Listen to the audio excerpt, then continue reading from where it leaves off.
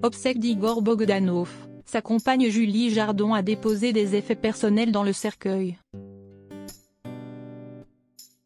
Lundi 10 janvier, les proches d'Igor et Grishka Bogdanov étaient réunis à l'église de la Madeleine.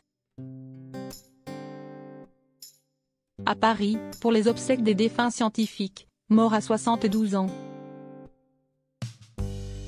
On pouvait noter la présence de Julie Jardon, dernière compagne d'Igor.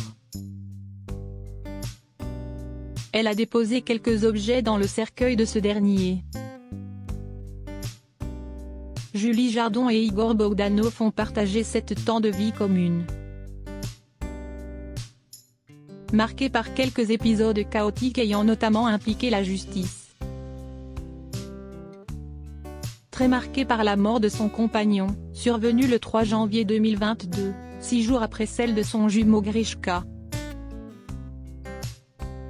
La jeune femme a dévoilé un poignant texte hommage auprès de Gala. Elle a aussi accordé quelques confidences à nos confrères. Présente à l'église de la Madeleine, au bras de Francis Lalanne, pour les obsèques d'Igor et Grishka, Julie Jardon, 27 ans.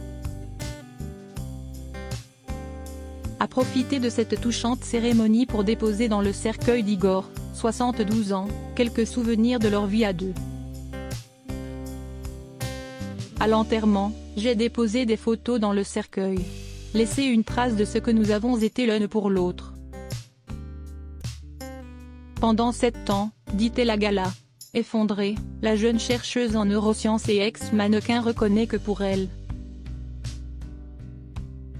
Si est dur pour le moment, et qu'il lui faudra du temps pour faire son deuil. J'ai perdu mes repères, j'appréhende le lendemain, je passe des nuits blanches. Je pense à tous ces moments. À tous ces petits déjeuners que je prendrai sans lui.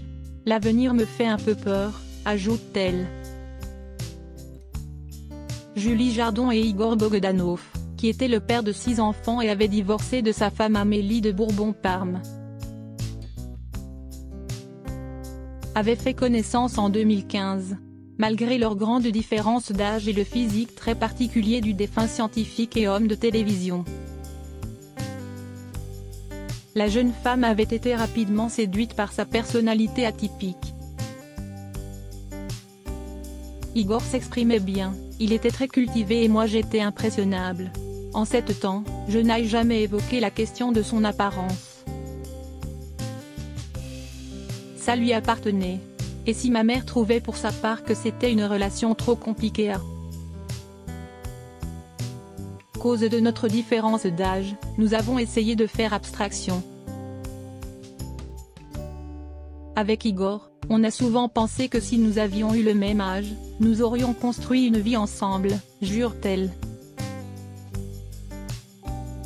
Les frères Bogdanov seront inhumés le mercredi 12 janvier 2022 à Saint-Lary, dans le Gers sur les terres familiales. Si est ici qu'il possédait un château dans lequel vit encore aujourd'hui leur demi-frère, le discret François